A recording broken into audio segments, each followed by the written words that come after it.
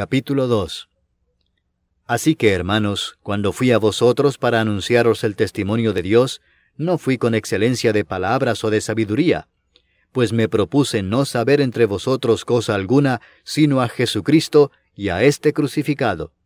Y estuve entre vosotros con debilidad y mucho temor y temblor, y ni mi palabra ni mi predicación fue con palabras persuasivas de humana sabiduría, sino con demostración del Espíritu y de poder, para que vuestra fe no esté fundada en la sabiduría de los hombres, sino en el poder de Dios. Sin embargo, hablamos sabiduría entre los que han alcanzado madurez, y sabiduría no de este siglo, ni de los príncipes de este siglo que perecen.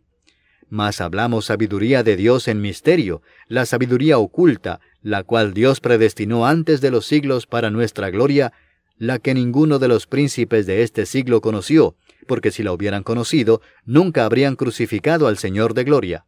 Antes bien, como está escrito, cosas que ojo no vio, ni oído oyó, ni han subido en corazón de hombre, son las que Dios ha preparado para los que le aman.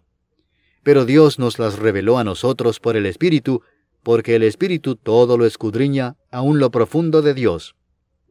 Porque ¿quién de los hombres sabe las cosas del hombre, sino el Espíritu del hombre que está en él? Así tampoco nadie conoció las cosas de Dios, sino el Espíritu de Dios.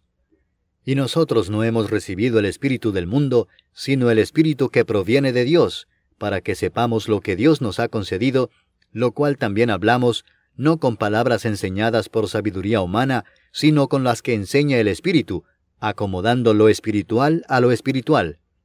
Pero el hombre natural no percibe las cosas que son del Espíritu de Dios, porque para él son locura, y no las puede entender porque se han de discernir espiritualmente. En cambio, el espiritual juzga todas las cosas, pero él no es juzgado de nadie. Porque ¿quién conoció la mente del Señor? ¿Quién la instruirá? mas nosotros tenemos la mente de Cristo.